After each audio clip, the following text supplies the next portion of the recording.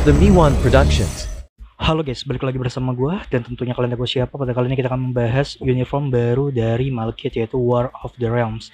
Nah guys, jadi buat kalian yang memang tertarik untuk membeli uniform dari Malekith ini, ya kan, bagus atau enggak. Dan sebelum kalian beli tuh sebenarnya seharusnya kalian tuh harus tahu dulu nih, ya kan, tujuan kalian itu tuh mau beli karakter atau mau beli uniform itu tuh untuk apa gitu, ya kan. Terus juga kalian tuh harus cari tahu dulu nantinya tuh uniform atau karakter yang kalian beli itu kepakainya untuk apa? Bagusnya sih di sana biar nantinya tuh kalian tuh nggak menyesal gitu loh. Kalau misalkan kalian tuh udah beli uniform ataupun kalian tuh build karakter yang memang uh, kalian tuh berekspektasinya nanti bakal bagus gitu kan. Nah guys jadi uh, Malekith ini dengan uniformnya kita lihat dulu ya. Sebenarnya dia tuh bukan hero support sih. Walaupun ya dia kepake juga sebenarnya leadernya gitu buat penghilang debuff gitu kan. Dulu-dulu dan sekarang pun sebenarnya iya. Dan dia tuh kalau pasifnya nggak ada support ya kan hmm, pasifnya dia nggak ada support. Nah tapi bagusnya guys di uniform ini ya kan dia tuh ada peningkatan basic damage ya kan yang akan diberikan kepada karakter hero gitu. Nah ini tuh bakalan kepake sebenarnya buat uh, pasukan aliansi conquest gitu kan alliance conquest. Nah tapi ya memang kalau misalnya musuh kita tuh ya hero ya tentu di sana ya kan. Kecuali kalau misalnya di WBL nih kalau di WBL ini ya buat support ini ya, support pasif ini, ini nggak kepake karena memang WBL itu belum ada karakter hero nya gitu. Kalau di WBU ada, di WBU itu ada. Ini suara gue agak-agak aneh ya. Padahal gue kayaknya nggak makan yang aneh-aneh deh. Kayaknya kayak ketahan gitu loh.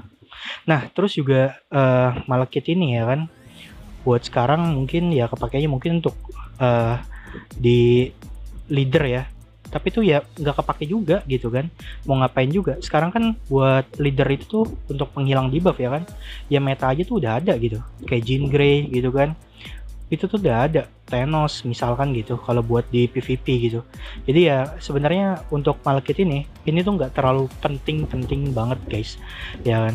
Cuman yang mau gue kasih tahu adalah uh, buat Malekith ini dibilang warrior atau enggak sih dari segi damage ya?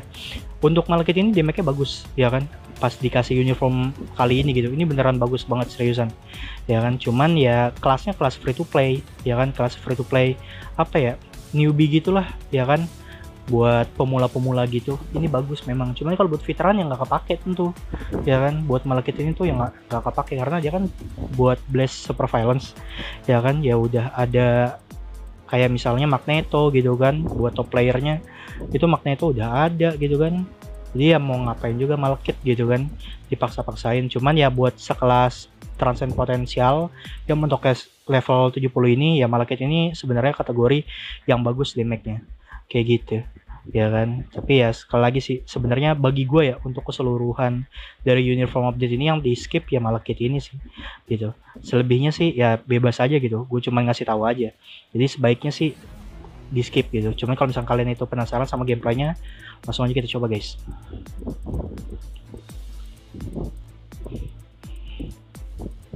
tiga lima empat hmm. buat skill awakeningnya 6 3 5 4 5 nya DC ya hmm. jadi namanya bisa di cancel tuh Oke guys, lanjut guys.